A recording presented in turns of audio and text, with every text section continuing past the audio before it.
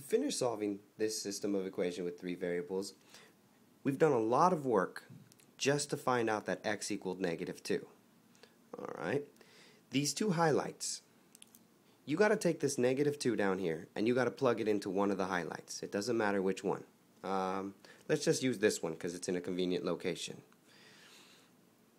5x plus 6y equals 26. Well, I know for a fact x is now negative 2, so I can say 5 times negative 2 plus 6y equals 26. So that's negative 10. I just get to solve the equation, so nothing too difficult about this. Inverse operation to both sides, so I'm going to add 10. So I got 6y equals 36, and therefore y equals 6. Alright. Now we have two out of the three letters. We've got x, we've got y, now we need z. To get z, we have to now go back to the very original three functions. The black function, the green function, or the red function. And you pick one of these three. It doesn't matter which one you pick. Um, let's just pick the black function. Or, you know what? Let's pick the green function. It says x plus 4y plus 2z equals 16. You can find z because what you'll be able to do is say, I know what x is. x is negative 2. I know what y is. y is 6. And from there, what you can do is say, all right, I've got a negative 2.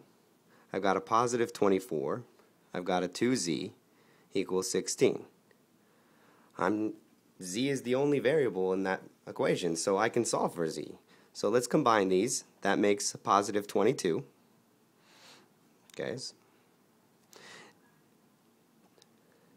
We're going to use the math we always have. Subtract 22 to both sides. That's the inverse. So 2z is going to equal negative 6. Therefore, z equals negative 3. We have x, we have y, we have z. Our final answer is going to look like this.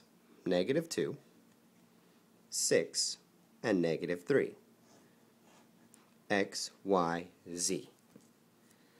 This says the three functions that we originally started with, they intersect at a coordinate point of negative 2, 6, negative 3 in three-dimensional space.